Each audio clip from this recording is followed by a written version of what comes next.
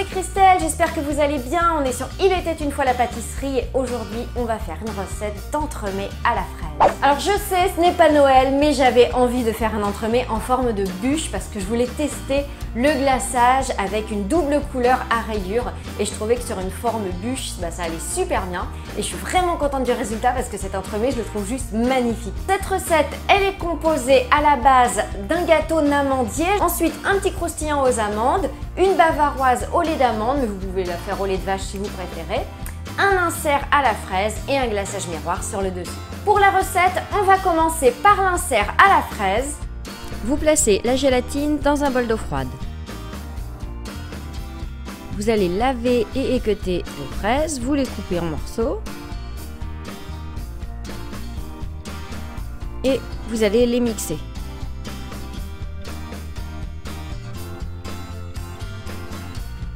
Je vous mets tous les ingrédients et le matériel en barre d'infos, il suffit de dérouler, c'est juste au-dessus des commentaires.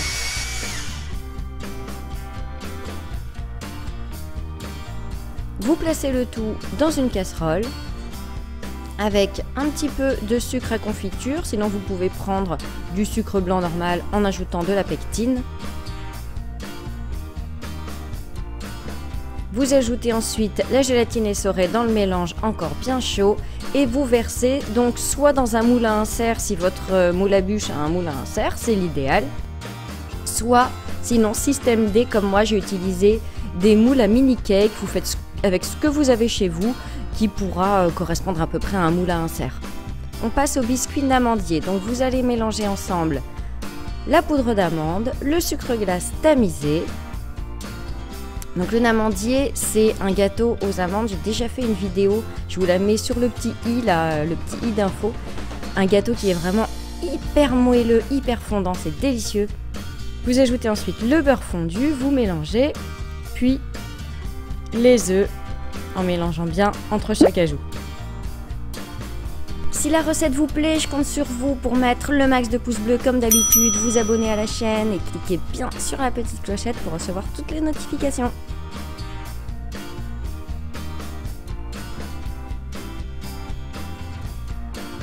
Vous allez verser tout ça dans un moule à cake qui doit faire à peu près la taille de votre moule à bûche et vous enfournez 20 minutes à 180 degrés. Si votre moule ne fait pas exactement la même taille, c'est pas grave, vous couperez un peu le gâteau, moi c'est ce que j'ai fait, il n'y a aucun problème. On passe à la mousse bavaroise, donc vous allez placer une demi-gousse de vanille avec ses graines dans une casserole de lait d'amande, vous faites chauffer, vous laissez infuser euh, une demi-heure environ, le temps de préparer la suite. Ensuite, vous allez fouetter ensemble les jaunes d'œufs avec le sucre en poudre jusqu'à ce que le mélange blanchisse. Vous ajoutez le lait d'amande encore chaud, donc vous avez retiré la gousse de vanille. Vous l'incorporez petit à petit sans cesser de fouetter, puis vous replacez le tout dans la casserole.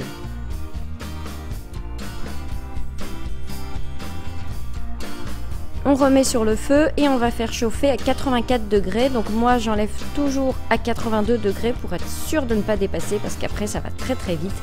Et au-dessus de 84 les œufs vont cuire. Donc il faut surtout pas dépasser ces fameux 84. On reverse le tout dans un récipient, on ajoute la gélatine essorée. On mélange et on laisse refroidir, on laisse revenir environ à 30 degrés. En attendant, on va fouetter la crème liquide entière bien froide, donc sur vitesse moyenne pendant 10 minutes environ. Vous pouvez augmenter la vitesse progressivement jusqu'à obtenir une crème bien ferme.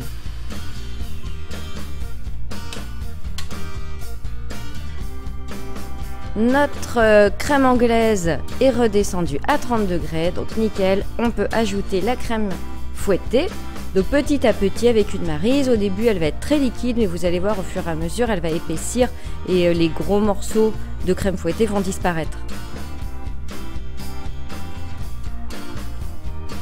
Vous versez les trois quarts de cette crème dans votre moule à bûche, donc euh, soit en silicone, soit sinon vous le recouvrez de film alimentaire ou de, papier guitare, et vous placez 15 minutes au congélateur.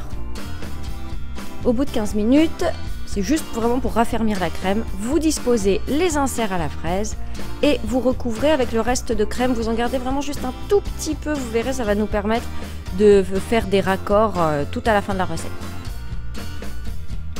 Vous lissez bien et puis vous allez creuser comme une gouttière au centre de la bûche avec une cuillère. Vous replacez 15 minutes au congélateur. En attendant, on prépare notre croustillant aux amandes. Donc vous allez faire griller les amandes effilées. Vous les versez directement dans le chocolat blanc fondu. Et vous émiettez les crêpes dentelles par-dessus. Vous mélangez bien.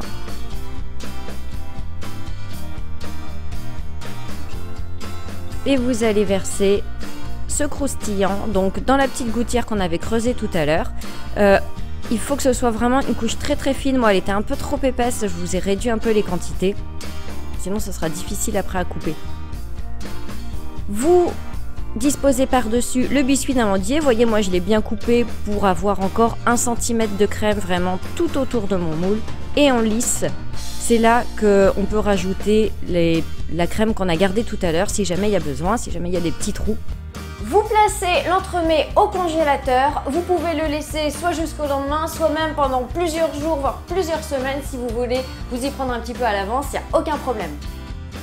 On passe au glaçage miroir. Donc vous placez la gélatine dans un bol d'eau froide. Vous coupez le chocolat blanc bien finement. Vous le réservez. Dans une casserole, vous allez verser de l'eau, du sucre en poudre et du glucose. Vous faites chauffer et quand c'est à ébullition, vous retirez du feu. Vous versez le mélange bien chaud sur le chocolat blanc, qui va fondre directement. Vous mélangez et vous ajoutez la gélatine essorée pendant que le mélange est encore vraiment bien chaud.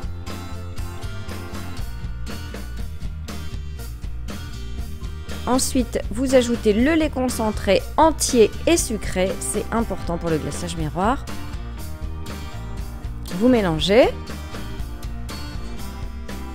Et là, vous allez placer environ un quart du glaçage dans un mixeur et vous ajoutez une pointe de colorant blanc. Vous mixez pour obtenir un, glaçage vraiment bien lisse, sans bulles bien homogène. Vous réservez, vous placez au réfrigérateur jusqu'au lendemain. Ensuite, dans le reste du glaçage, vous placez une pointe de colorant rouge, vous mixez de nouveau. Et pareil, on réserve au réfrigérateur jusqu'au lendemain. En tout cas, jusqu'à utilisation.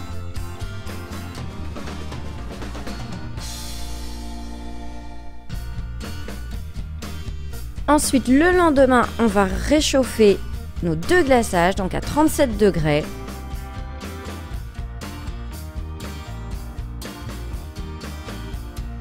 On va les placer dans un verre doseur, donc d'abord le rouge et ensuite le blanc par-dessus. Là, avec un pic à brochette, vous allez très légèrement les mélanger. Vous voyez, il faut juste qu'on voit le rouge apparaître sur le dessus, mais pas plus.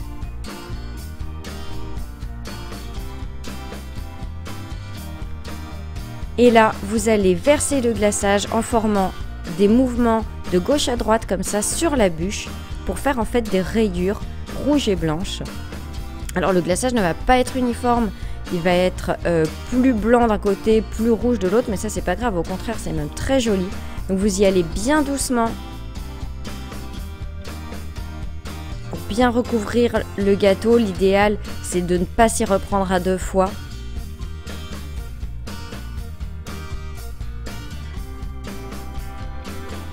Voilà, là c'est ce que j'ai fait et du coup ça m'a fait une rayure un petit peu en travers.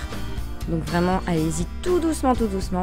Et c'est terminé. Donc vous laissez bien le gâteau décongelé au moins 4 heures au réfrigérateur, plus une demi-heure euh, à l'air libre pour qu'il soit bien décongelé avant de se régaler.